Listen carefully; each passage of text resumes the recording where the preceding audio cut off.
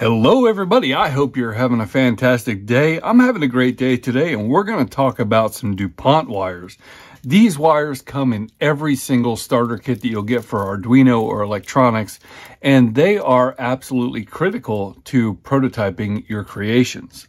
And prototyping is one of those things that I do for a living. And so I wanted to share with you some of my top tips and tricks for using these wires. And let's start off with tip number one, and that there are nine different types of these wires standardly. There's obviously a lot more than that, but uh, the first one we've got is the male to male. You got a pin on both sides. We've got male to female. You've got a pin on one side and a hole on the other. And then finally you have hole and hole. And if you look at these, you'll see that typically they come in 30 centimeters, 20 centimeters, and 10 centimeters. And if you can afford it, I want to encourage you to get all nine types of these because they do come in handy. You don't really want to use more wire than you have to when you're trying to cram things in an enclosure and you don't want to have to have all your things pressed in together when you're connecting to a breadboard. So it's nice to have long wires, short wires, and then most typically you'll use medium wires.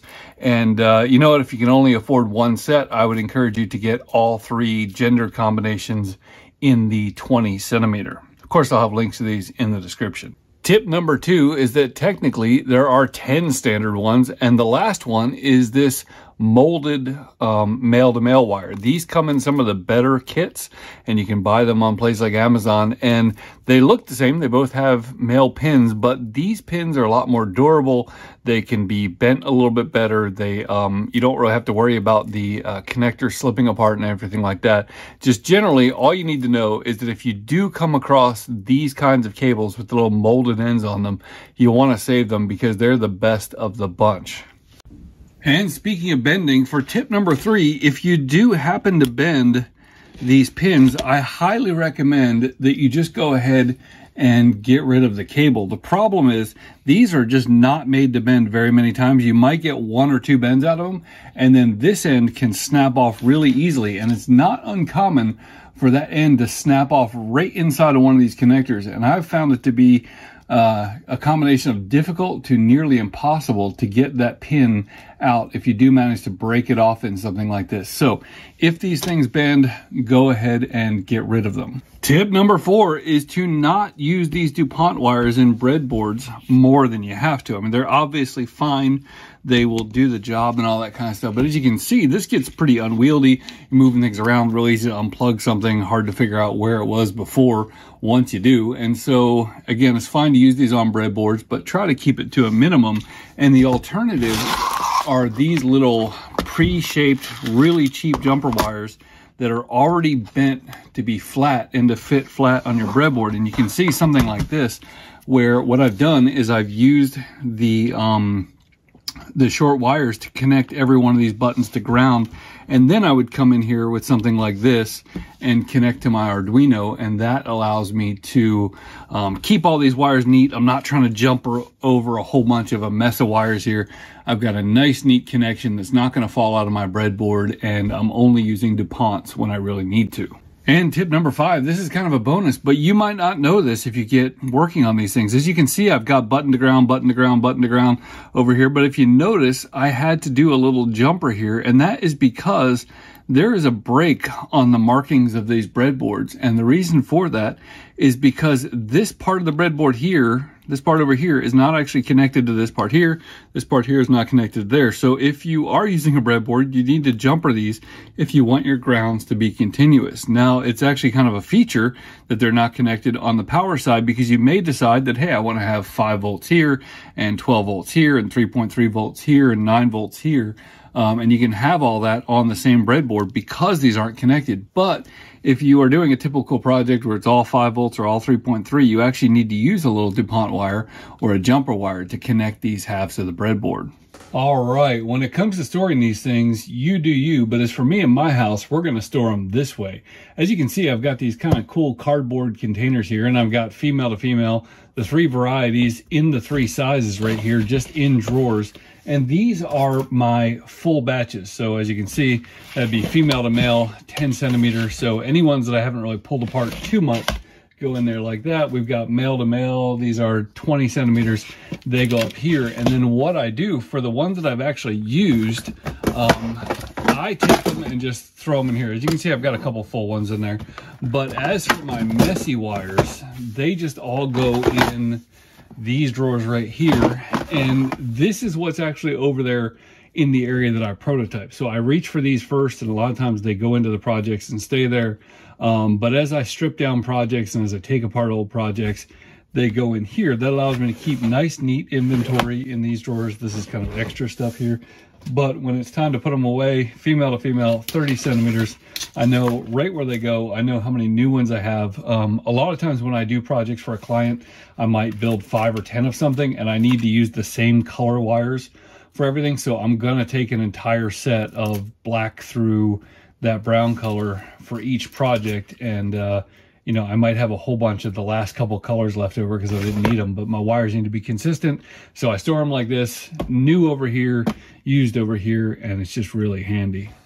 Tip number seven is if you decide that you want to crimp these things yourself, I highly recommend you getting a good pair of crimpers and the right pair of crimpers. Basically, um, most of what's out there on Amazon AliExpress is absolute crap. There are only two that I would consider getting, and uh, even though these are both uh, very similar looking. This one is actually not for DuPont exactly. If you're going to get uh, crimpers, then you either want the iWiss or iCrimp uh, SN28Bs or um, a little bit more expensive. These are made in Japan. They have an orange uh, handle on them now, but these are the PA09. I'll have links to the exact ones in the description. I think I like these a little bit better. They're a little bit more finicky, but they're they're smaller in the hand and they're kind of these connectors as you'll see in a minute are um, a little bit uh, tiny to deal with and I just find that using the giant crimpers are is just a little obnoxious and so I kind of like these a little bit better. I am not going to do a full crimping tutorial in this video. There are plenty of those online. I want to talk about the things that nobody else talks about. Tip number eight, if you decide to crimp yourself, I highly recommend that you buy a case of these shells with all the different sizes. We've got individual ones, we've got fours and fives and ones that are two rows and ones that are single rows. And then if you really do find yourself doing it a bunch, um, then I buy in packs of 100. These are the individual ones, and I just kind of dump them in there and refill. Um, these are doubles. I will dump them in there and refill when I use the ones that I have, and then you can buy these pins in bulk. Um, as you can see here, got rows and rows and rows of pins in both male and female. Um, I do recommend you buying the kit of shells. I recommend you buying this stuff in bulk, but do not buy the kit because it comes with the crimpers. Get the crimpers separately and get the exact ones that you need. You don't ruin your experience by getting crappy crimpers. Tip number nine is to use pre-made cables whenever possible. I manufacture a product in relatively small quantities that uses this OLED screen and connects it to this circuit board. And um, as you can see, I'm using a pre-made uh, DuPont cable. And what I love about it is that they're pre-made. I don't have to sit there and mess around with it. Now, of course, I could take a whole bunch of these DuPont wires and just rip off the right number of wires and connect them one at a time. But this is no muss, no fuss, and it's really easy to remember that the red side goes toward VCC. And so everybody around just knows red toward VCC, you plug it in and you are done. And so this cable saves me time, saves me energy, saves me hassle in making sure that all these things are the right direction. Still using DuPont, still get all the flexibility of it, but I'm not sitting here making custom cables. But let's say you truly do need a custom cable like uh, one of these two by three. So you've got two rows of three. Um, you could try to find something like that online, but maybe you need crossovers, maybe you need things in specific orders.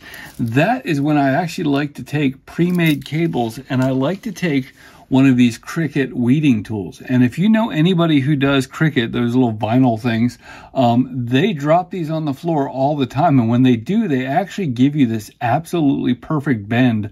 I'm not joking. When they fall on the floor, they bend like this.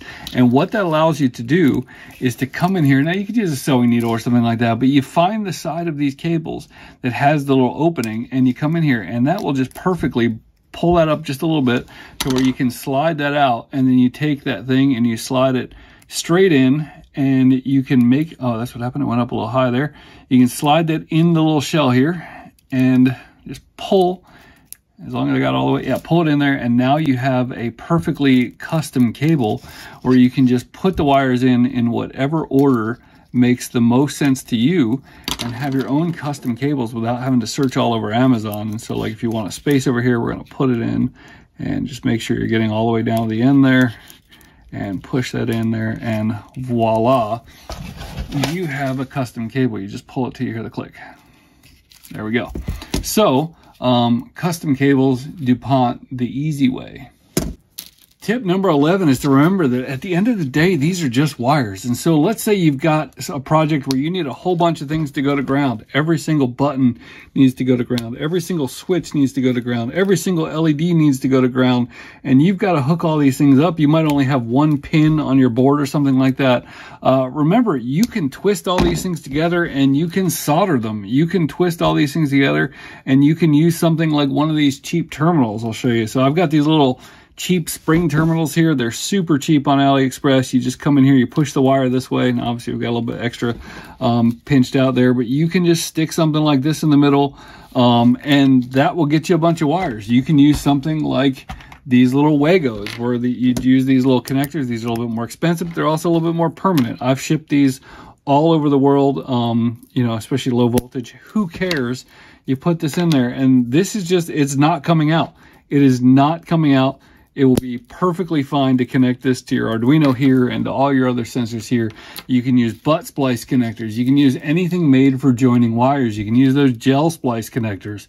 Uh, anything you want to connect these wires and make your own custom crazy versions of these things. Now, the definition of rapid changes from person to person, and when I talk about rapid prototyping, I mean that oftentimes the project actually leaves my office the same day that the idea is presented to me. So I go from never having heard of it to having something out the door same day. And so on something like this, this is a uh, device, just looks like an LED, but we've got an ethernet port over here. We have a misaligned port because it didn't line up with the case. Uh, but this is an ethernet based edge device to tell people in a factory what an AI is doing. And so, um, you know, this just had to work. It was a proof of concept. And as you can see, as you look down there, uh, there's not a ton. Usually I put a lot more, but there is hot glue, um, both gluing this wire to the actual board and to the case. And this thing made it thousands of miles, has been bounced all over the place and uh, traveled and worked just fine. And that hot glue is key for when you need something to be semi-permanent. You know, I've gotten this one back. I'm going to repurpose it eventually, but uh, this glue is what allowed me to put this thing in a box and know that it was going to work when I got there. So they talk about the stages of grief. Let me tell you about the stages of glue. Uh, when I create something like this, let's say that in this situation, the middle two wires are signal. And let's say that for my project, they need to crisscross so that they go straight through on one side, but that these two middles have to um, flip over. So what I would tend to do in something like that while I'm prototyping is that at that stage, if I don't make a custom cable, like I just showed you earlier, what I would actually do is take just a little bit of glue and actually stripe it right across here. I'm not trying to connect it to anything else. All I'm doing is connecting it right there to try to keep these wires in order. And then I have a little Ryobi fan and when you're done, you have something that is roughly in the right order. It's going to line up, but I need to plug it in again. Um, the glue isn't fully dry, but when I need to plug it in again, everything's going to roughly line up. I don't have to keep worrying about these things flipping over. They're in the right order and everything is great. And then when it is time to actually ship something like this, then what I will do is I'll try to melt my old glue and I'm going to come in here and connect these two like this. The other thing I like to do is to add some hot glue up here and add some hot glue over here so that these wires don't accidentally pull out. Let's say you're yanking on the thing, you don't want the wire to come out the back of the shell. Obviously, I would do it on the other side, and that will allow this thing to survive all kinds of shipping. I've shipped them all over the world this way, and it's fine. Uh, it's not pretty, it's not awesome, but it does work, and it does allow me to not think twice about whether the wire is connected when it gets to where it needs to go. Most importantly about the hot glue is that although it holds really well, it is not permanent. I either take uh, isopropyl alcohol in a bottle like this, or you can get one of these little uh, pin bottles. I'll have links to those in the description. But you can put it in here and let it sit for 10 or 15 seconds. It's not going to destroy your electronics or anything like that. Let it sit for a couple of seconds, and then you can just get in here with your fingernail and take it right off. And as you can see now, this will disconnect just cleanly and you can come right up here and just be a little gentle, but clean as a whistle. Your wires are back to the way they were. They can be put in whatever order they need to go for your next step. Tip number 14 is as much as I like DuPont wires and as handy as they are, if I'm going to be doing a lot of prototyping, I actually like to switch over to these screw terminals. So with these, you can just come in here and you can fold the wire in half if you want, and you can just screw them in here. But I actually like to use these little things if I'm going to go to screw terminals. Uh, you can drop in these little, they're little ferrule type things that you put over the edge of the wire and use these little kind of cool square crimpers. Then once you've got that all crimped, you can come in here and stick it in the terminal strip and screw it down and you get kind of a more permanent connection that's easier to switch around. But tip number 15 is that these things actually work really well with screw terminals. So you can come in here if you've got some wires, you don't need to crimp those things on here. You just put them right in screw terminals. And I find that they actually work really, really well um, for prototyping that way. So it's another way to get a little bit more permanent connection. Tip number 16, and it may seem like a stretch, but I promise you it's not, is that I use these DuPont wires to connect directly to circuit boards and motherboards all the time. The main reason for that is that I find when I solder wires um, like what's inside of these things directly to a motherboard, you get moving around and they snap off. But if you solder something like this, it can handle the connection a lot better. As you can see, that's just sticking right through there. I'm uh, This is crimped up here and molded really well, and that allows me to kind of jump around and move things. So if I am composite modding an Atari, if I'm making a new cable connector for like a keyboard to a motherboard or something like that, I use DuPont wires all the time. The wires inside are stranded, the connections are solid, and you're able to make a really nice custom cable using these DuPont wires. And so if I have to solder a wire to a motherboard and there's a through hole, nine times out of 10, I'm going to use a DuPont. Tip number 17. This is something I actually did this week. I had this custom CPLD chip and I had to make this custom adapter and wire it up to a custom USB cable. And I had DuPont wires all over the place. And I wish you could see underneath here. We've got all kinds of wires bodged together under those things. And then eventually I broke it out to some DuPont wires. And then eventually that went to a programmer and all that kind of stuff. But I did all that to just make a proof of concept that this was possible. And then when I was done, I turned it into an actual PCB with the sponsor of this video, PCBWay. Now, you may think that PCB design is outside of your abilities, but I've got a 45 minute video where I show you from beginning to end how to take an idea from a project and turn it into something that you can actually hold with your hand. And that's the beauty of PCBWay. These boards cost me five bucks. I think I got 11 of them or something like that. And I took my project from this mess of wires and DuPont wires and turned it into something that is perfect for my needs. This is the ultimate video converter. It converts all kinds of computer videos from one to another with all kinds of prototyping using all the skills that we've talked about in this video.